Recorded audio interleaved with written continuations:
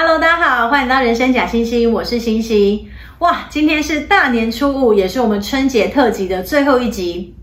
我们先前在说凡尔赛宫时，就很多人留言提到，在法国国王路易十四时期的凡尔赛宫呢，即便外观雄伟壮丽，内部富丽堂皇，却总是臭气熏天。这是因为凡尔赛宫的公厕数量严重不足，再加上排水系统不发达，甚至很多王公贵族直接随地便溺，就让凡尔赛宫充斥着恶心的臭味。但是比凡尔赛宫大上好多倍，甚至没有一间公厕的紫禁城，却没有臭气熏天的问题。难道皇帝、皇后、嫔妃们真的都是不用排泄的天选之子和仙女们吗？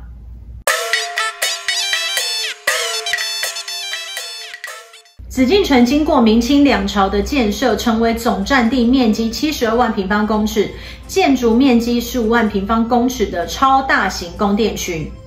根据北京故宫博物院前院长单霁翔，花了五个多月，穿破二十多双鞋，亲自走遍整个故宫，统计出来，紫禁城内共有八千七百二十八间房间。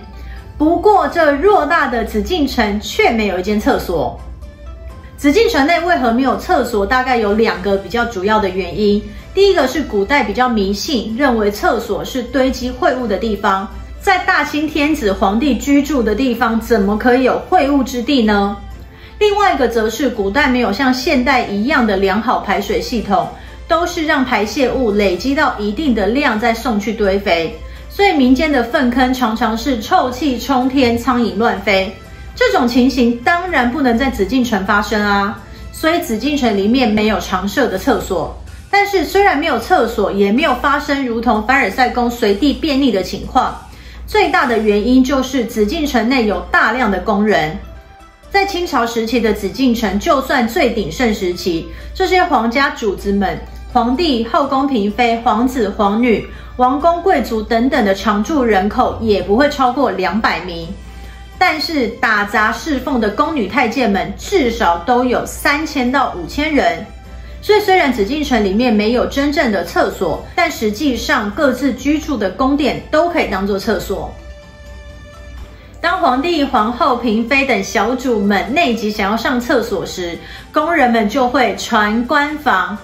官房呢，专门是指给皇家成员们使用的马桶。官房的主体通常是木质的框架，中间呢挖有一个圆形开口，开口处再铺设精致的软垫。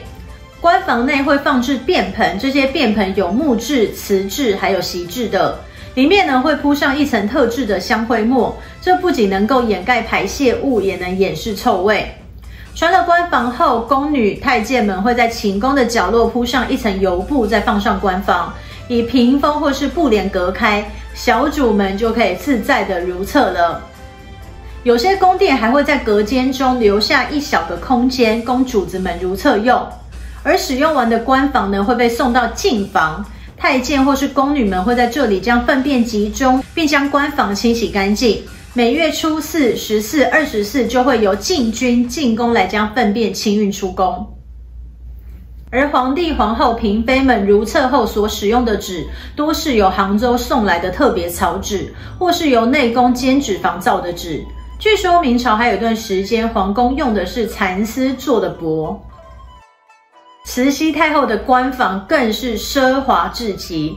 据记载，老佛爷使用的官房是用珍贵的檀香木雕刻而成，外形呢是一只大壁虎，壁虎的四爪就是底座，骨折的肚子刚好放置便盆，而壁虎的嘴巴是放置手指之处，眼睛还镶嵌着红宝石。慈禧太后的便盆里面铺的也不是一般的香灰末。而是晒干的松香木碎屑，既干燥又蓬松。而太后使用的手纸当然是上好的细软白棉纸。为了不伤到老佛爷细致的皮肤，宫女们还会精心加工。在老佛爷使用前呢，会在细棉纸上均匀喷洒雾状的水，再垫上湿布，细心用熨斗熨干。这样制作出来的手指不仅光滑，也没有纸毛，才配得上老佛爷。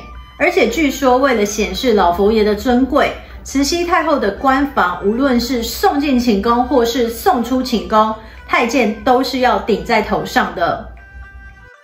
相对于主子们的尊贵，宫女太监们上厕所就十分简单了。